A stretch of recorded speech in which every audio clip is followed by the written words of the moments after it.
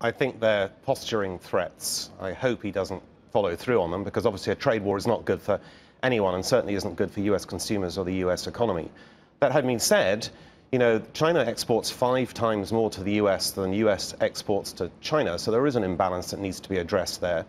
Um, I think his threats are a little bit loud at the moment.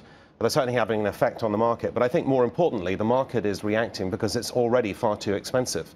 You know, the US is selling at 32 times cyclically adjusted P ratio, which is an all-time high. And surely it's time for a major correction anyway. So do you, in a way, if I'm hearing you right, you're saying this is an excuse for sellers who may have been looking to already sell to sell? Yes, exactly. And, uh, you know, there's been far too much complacency, far too much uh, buybacks of, uh, by corporations of their stock, which has supported the market, far too much concentration of ownership, and particularly in the tech stocks in the United States. And it's time for a very major correction, which is, I think, what we're embarking on.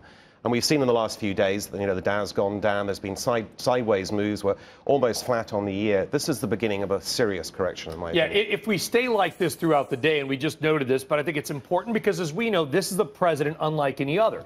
This, in many ways. But this is also a president who has frequently referenced the U.S. stock market as a report card on his job, in a way. You know, especially last year when markets were soaring, he would point it out at any chance he got if we if we close today the way the futures are indicating, we will be lower on the year. Do you think that's a measure of of maybe the president's thinking and, and maybe could force him to change the way he thinks?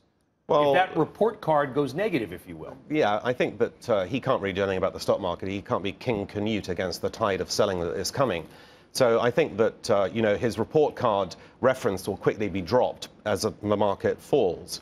But more importantly, I do think that uh, we are not going to be engaging in a trade war. I don't think there's going to be a universal trade war because globalization has been so good for everyone, including in the United States. I'm sure President Trump knows that.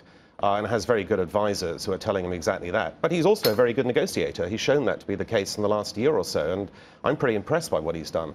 So he may force the Chinese to do something about this ridiculous trade imbalance that they've, uh, they've mounted up over the years, basically.